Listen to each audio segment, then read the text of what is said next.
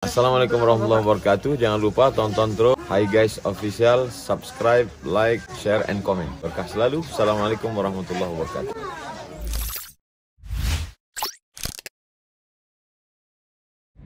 Assalamualaikum guys Sekarang kita mau menuju ke tempat akikah Bersama Tuan Guru Ustaz Somad Dan juga Bapak Wali Kota Batam guys Supir kami sekarang orang hebat guys Sembarangan ya Segan menyebutnya ada komandan di belakang Oke guys Kita akan mencoba untuk Berbincang-bincang dengan Pak Wali Kota Batam Pak Haji Muhammad Rudi Bagaimana beliau capaian-capaian yang sudah dibangun di Kota Batam Terutama jalan yang sudah sangat lebar sekarang guys. Oke, mari kita dengarkan.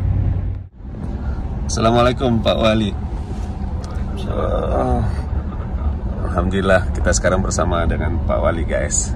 Nah, sekarang kita sedang menuju tempat makan. Pak Wali, kita menengok perkembangan Batam sekarang dengan jalan yang luas.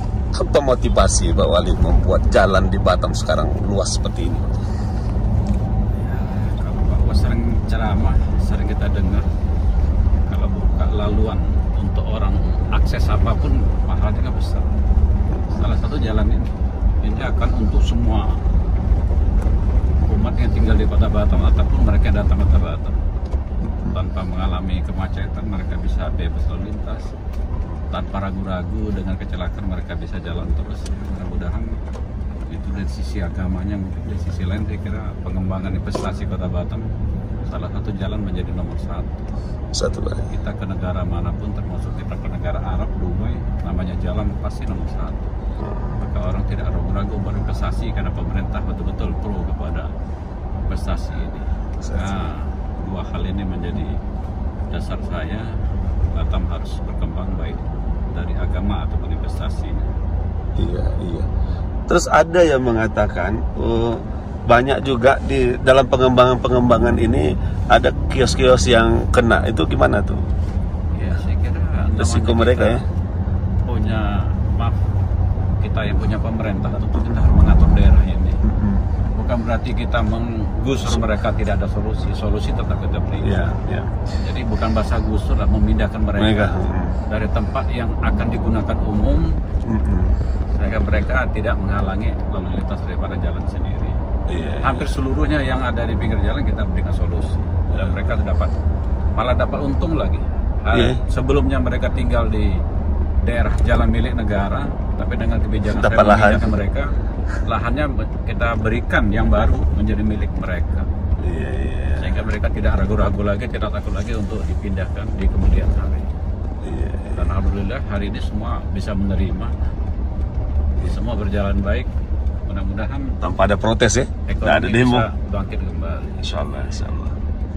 Eh, ada dua hal yang sudah dilakukan dalam kaitan keagamaan itu membuat masjid di daerah eh, Batu Haji, Masjid Sultan, dan sekarang sedang membangun satu masjid lagi yaitu masjid yang di bandara. Itu motivasinya apa, Pak?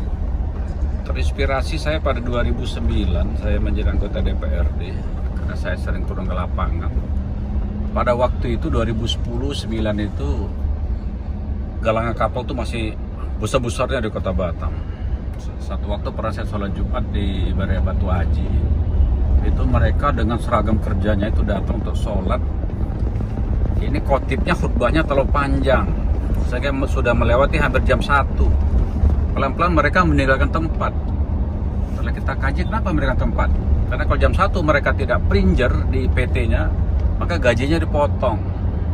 Maka pada waktulah saya coba mendirikan masjid di daerah Sagulu ada Batu Haji dan Sagulu supaya mereka bisa melaksanakan sholat ibadah waktu yang kita atur bersama seluruh pengurus masjid Alhamdulillah pada waktu itu selesai semua tapi hari ini karena ada covid mungkin ini sementara masjidnya mungkin hanya masyarakat saja.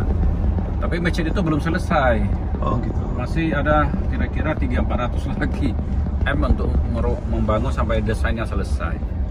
Saya terbangun itu pada waktu saya ke Abu Dhabi, ada satu masjid putih milik raja itu, itu besar sekali itu.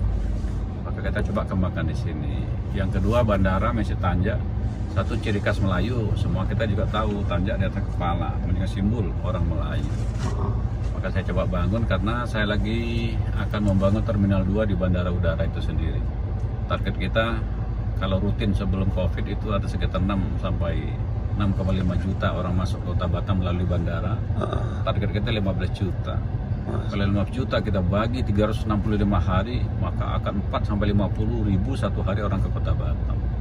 Kalau nanti lama dia stay-nya di bandara, maka dia butuh tempat ibadah. Salah satu misi tanya itulah kita bang. Iya, Insya Allah kita mohon kesediaan Pak Ustadz.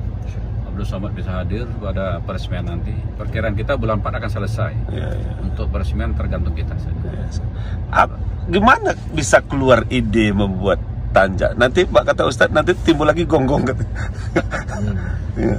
Saya adalah ketua kekerabatan keluarga besar Melayu Kepulauan Riau. Ah, Artinya kalau saya bangun itu biasa-biasa saja sebetulnya.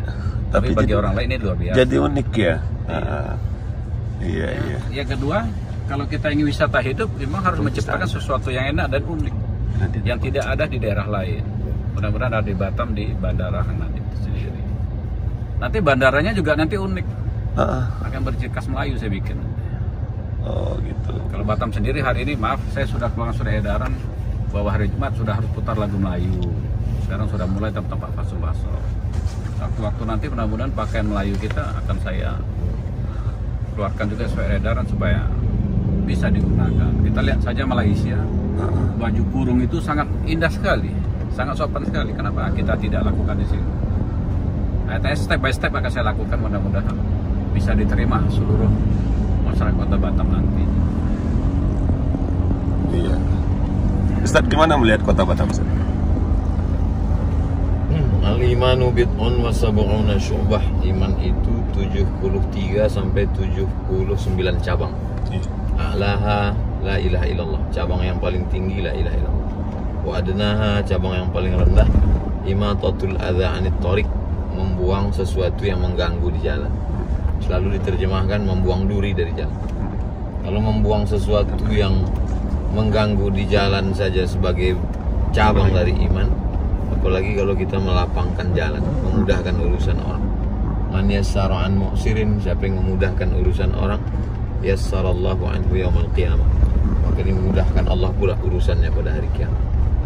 Jadi bagian dari amal jariah tidak hanya membangun masjid, tapi bagian amal jariah juga jalan-jalan ini orang lalu lalang ke masjid memudahkan urusan. Adapun orang yang berniat jahat di tanah suci pun banyak juga orang berniat jahat. Maka para alim ulama, kiai menceramahi masyarakat supaya jangan sampai jalan yang sudah baik ini dibuat sebagai jalan untuk memudahkan berbuat maksiat. Masuk. Ada kontrol. Adapun relokasi saudara-saudara kita yang bekerja maka relokasi di tempat yang baik insya Allah mereka tidak teraniaya ittaquz zulma takutlah kamu pada perbuatan aniaya fa inna zulma zulumatun yaumal qiyamah kezaliman akan menjadi kegelapan pada hari kiamat saya sudah bolak balik ke Batam dari sejak 2014 Iya. ini tahun ke-8 saya datang ke Batam setahun dua kali. Maka saya melihat masyarakatnya multi etnis, multi suku, multi agama. Di mana ada gula di situ ada semut.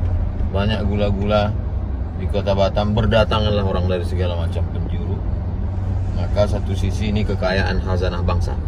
Tapi kalau tidak direkat, dijaga dengan baik, ini juga menjadi sumber konflik. Maka kalau di Batam ini bisa hidup dengan damai, mencari rezeki yang halal, membangun kota, tidak menghilangkan estetika budaya Melayu di mana bumi dipijak di situ langit dijunjung, maka insya Allah negeri ini tetap menjadi baldatun thayyibatun wa rabbul ghafur. Amin. Insya Allah. Amin. Syukron Ustadz, syukron Pak Ali. Hai guys official.